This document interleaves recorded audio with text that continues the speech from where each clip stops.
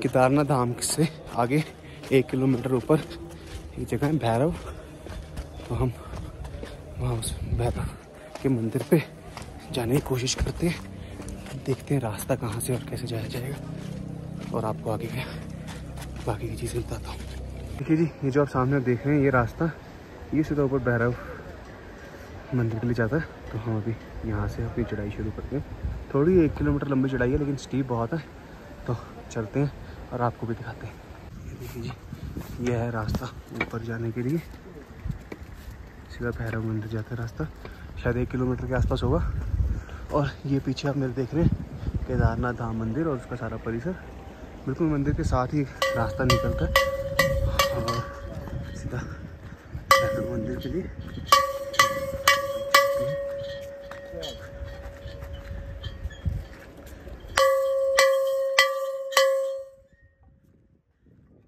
पूरा रास्ता जो है ग्लेशियर्स के बीच में से ये अच्छी बात है कि अभी स्नोफॉल नहीं हुई तो जो रास्ता है वो पूरा साफ़ है। बीच में थोड़ा थोड़ा पैच आएगा। वो आराम से निकालते जाएँगे और आपको भी भैरव मंदिर के दर्शन कराते हैं। चलिए मेरे साथ, ये देखिए क्या अद्भुत नज़ारे हैं इन विशाल का पर्वतों के। और इनके बीच में हम चलते जा रहे हैं। थोड़ी थोड़ी स्नो है बीच में, बस कोशिश करें आराम से चलें। जल्दी कोई नहीं है। ये देखिए भैरव मंदिर। ऊपर से तो मेरे को लगता बहुत ही अद्भुत नज़ारा आएगा नीचे के पूरे धाम का। तो चलते हैं। ये देखिए। अभी मेरे सामने दो तीन लोग कर गए थे स्लिप। आराम से चलें। ये देखिए, नीचे। बस आराम से चलते जाएँ। पैर दबा कर चलें। तो कुछ नहीं होता। तेज़ी करेंगे, फिर गड़बड़ तेज़ी क्यों करनी और? दर्शन करने जा रहे हैं, आराम से जाएँगे, आराम से चढ़ेंगे और आराम से उतरेंगे ये देखिए, ये लोग भी आ रहे हैं और विशाल का है पहाड़। अद्भुत नज़ारा। रास्ते के ऊपर समझ जाए क्योंकि बर्फ़ है, इसको ब्लैक आइस भी कह सकते हैं। इसके ऊपर चलेंगे तो पक्का फिसलेंगे ये देखिए, बिल्कुल ब्लैक आइस तो बर्फ़ के ऊपर जाना सही रहता है। ये देखिए। ब्लैक आइस ना? तो नीचे से नहीं आके ऊपर से, बर्फ़ से आए। क्योंकि बर्फ़ सॉफ्ट है। ब्लैक कैसे बनती है? जब पानी पिघलता रहता है और जमता रहता है साथ साथ तो वो एक कांच सा बन जाता है। उस कारण उसके ऊपर चलना मुश्किल हो जाता है क्योंकि वो बहुत फिसलता है। हम भी चढ़ रहे हैं, ये देखिए, नज़ारे। अद्भुत। जी। वो ब्लैक वाला हिस्सा पार कर लिया हमने। अब हम ऊपर जा रहे हैं। देखिए, पूरा ग्लेशियर ही ग्लेशियर है। और यहाँ से श्रद्धालु आ रहे हैं। ये देखिए। चढ़ रहे हैं जी। आधा रास्ता हमने पार कर दिए और नीचे देखेंगे यहाँ से आए हम। और आधा रास्ता रह गया। अभी और दस मिनट में पूरा ऊपर पहुँच जाएँगे। और आपको बीच बीच में ये देखिए नज़ारे। चढ़ते जा रहे हैं। देखिए जी यह नज़ारा पूरी केदार घाटी का। हेलीकॉप्टर की सर्विस शुरू हो चुकी है। और बस थोड़ा रह गया। डिस्टेंस तो कम है, लेकिन एलिवेशन है। तो स्लो स्लो है ताकि ज़्यादा सांस में चढ़े। सांस चढ़ेगा थोड़ी गड़बड़ हो जाती। ये देखिए ये पूरी घाटी के नज़ारे। ये देखिए जी, पहुँच गए बस हम। और ये देखिए तो चढ़ाई कुछ मतलब चढ़ाई है ज़्यादा एलिवेशन ज़्यादा होगी, लेकिन डिस्टेंस कम ही है। तो अगर सिंपल स्पीड में भी आए तो भी 10 से 15 मिनट में ऊपर पहुँच जाएँगे। ये देखिए, बस मंदिर आ गए दर्शन करते हैं और आपको भी दिखाते हैं। फाइनली हम पहुँच गए। दस मिनट लगे हमको पहुँचने में। लेकिन एलिवेशन है थोड़ी। लगता है 200 मीटर के एलिवेशन चढ़ जाते होंगे। इस एक किलोमीटर में। तो एलिवेशन तो अच्छी है। 200 चलो ज़्यादा कह दिया होगा मैंने, लग पता करना पड़ेगा कि सौ के आसपास तो होगी। ये देखिए, अद्भुत नज़ारे। विशाल का है पहाड़। और लोग यहाँ भी रहते हैं ऐसे तो। ये देखिए, हम मंदिर में आ चुके हैं। ये देखिए। अद्भुत ये मंदिर। है दिखाते हैं। बहुत ही अद्भुत है जगह।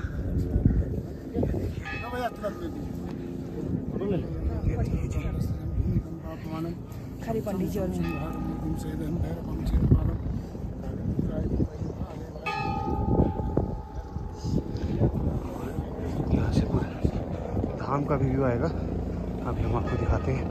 ये देखिए। है नीचे। हेलीपैड है। बहुत ही ज़बरदस्त एलिवेशन में ये हेलीपैड और अभी हम आपको नीचे श्री केदार धाम के भी दर्शन कराते हैं। ये देखिए। ये हमारा केदार धाम। वो सामने आपको मंदिर दिख रहा होगा। तो हम 10 मिनट में इतनी हाइट चढ़ कर आ गए तो अगर आप यहाँ आ रहे हैं और चढ़ सकते हैं तो ज़रूर यहाँ आएँ। बस आराम से आएँ और देख कर आएँ। ताकि फिसलें ना, और अगर प्रशासन रास्ता बंद किए तो फिर तो ज़रूरी ना आए लेकिन अगर सब कुछ सही है तो यहाँ ज़रूर आए। भैरव मंदिर, और ये देखिए आप, हम बिल्कुल अभी टॉप पर हैं, और यहाँ से वो सामने श्री केदारधाम, और ये देखिए अद्भुत नज़ारे यहाँ के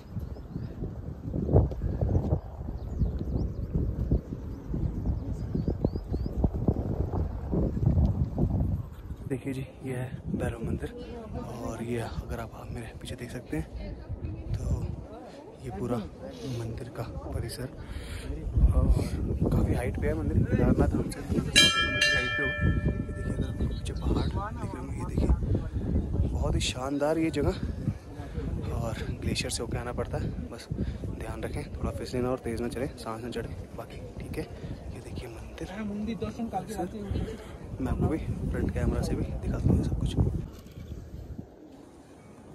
ঠিক আছে রে হ্যাঁ হ্যাঁ আমি মা- হ্যাঁ মাকে দিয়ে ফোন কর আসলে কি বলতে এখন না হাত বার করতে পারছি না পুরো হাত দিয়ে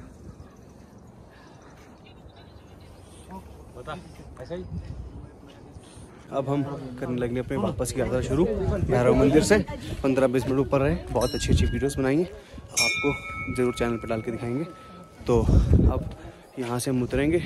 उतरते वक्त भी हमको थोड़ा ध्यान रखना पड़ेगा क्योंकि ग्लेशियर है, ग्लेशियर के ऊपर से जाना। कहीं पैर ना फिसले तो उतरते हैं और मिलते हैं आपको। बीच बीच में आपको दिखाते जाएँगे रास्ता।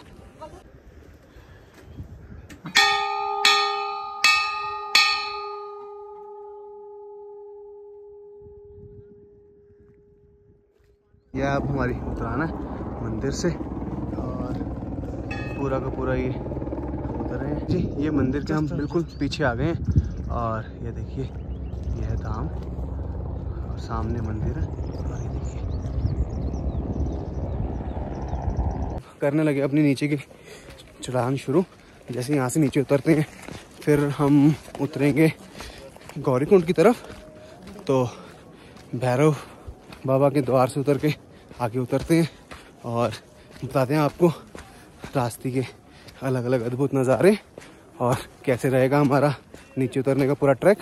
तो ये देखो वैसे लोगों ने टेंट भी लगाए हैं यहाँ पे। तो काफ़ी सुंदर दृश्य मिलते हैं। बस ठंड बहुत हो जाती होगी। बाकी तो ठीक है। तो हम करते हैं जी उतराई और चलते हैं नीचे गौरीकुंड की तरफ़ और मिलते हैं आपसे। ये जी हमारी नीचे की डिसेंट हो रही है स्टार्ट तो जो चढ़ के आए थे, वह उतरेंगे। बस बीच में जो वो ग्लेशियर वाला पार्ट था, वहाँ ध्यान से उतरेंगे क्योंकि वहाँ फिसलने का थोड़ा डर है। बाकी तो अच्छी व्यवस्था है। रास्ता सारा साफ़ है। तो आराम से उतर पा रहे हैं। कोई दिक्कत नहीं है। वहाँ भी आराम से उतर जाएँगे तो भी कोई दिक्कत नहीं होगी। ये देखिए जी, बस उतर हैं। हमने हिमालय के अद्भुत नज़ारे और वो नीचे केदार धाम तो बिल्कुल ही कुदरत की गोद में। बहुत ही अद्भुत। ये देखिए, अब हम उतर रहे हैं। थोड़ा ग्लेशियर का पार्ट स्टार्ट हो रहा है। बस उस ब्लैक का उस ब्लैक का इसका ध्यान रखेंगे और आराम से उतर जाएँगे। ऐसे समय में आपको जल्दी नहीं करनी, क्योंकि बर्फ़ है। फिसलन आसानी से हो जाती है। तो अपना आराम से चलें। एक किलोमीटर ही है और अभी रास्ते में हमको, जब हम गौरल कुंड के लिए जाएँगे तभी रास्ते में दो तीन ग्लेशियर आएँगे। वहाँ भी यही है। आराम से उतरें तो कोई दिक्कत नहीं रहती। तेज़ी करेंगे तो फिसलने का डर है।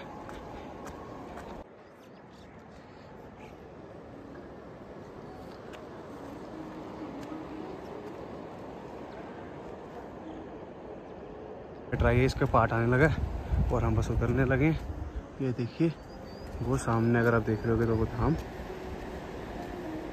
और यहाँ से बस हमें ब्रिज क्रॉस करना हम पहुँच जाएँगे। हम उतर गए हैं पूरा और भैरव बाबा जी की जय हो। और बस अब चलते हैं और अपनी यात्रा शुरू करते हैं। जय बोले, हर हर महादेव।